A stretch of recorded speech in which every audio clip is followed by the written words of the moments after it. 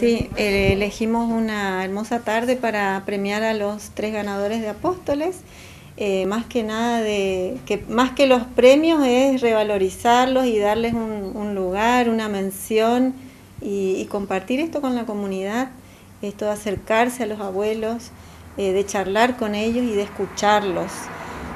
es muy importante satisfacción, orgullo y bueno, tener la posibilidad también de, formar parte del concurso, Jonathan. Sí, estoy re contento porque Silvana se comunicó conmigo, pues ya se sabe que yo se pinto, eh, hago retrato y cosas así.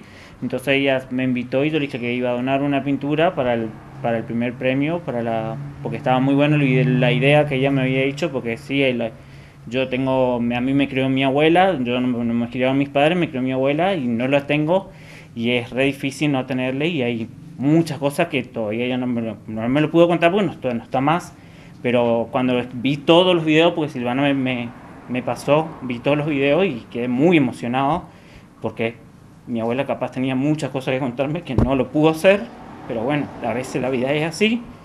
Y nada, entonces dije, para colaborar, sí, lo iba a colaborar de uno. Se, se, sumó a la posta Apóstoles de Cultura en Alpargatas eh, saben que hacemos red con los artistas y los promovemos, así que tenemos un artista espectacular en Apóstoles.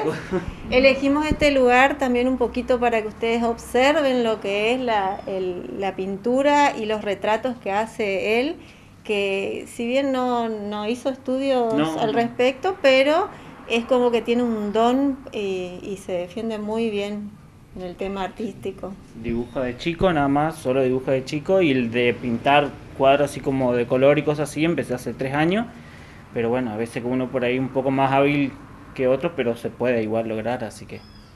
Felicitaciones. Muchísimas gracias.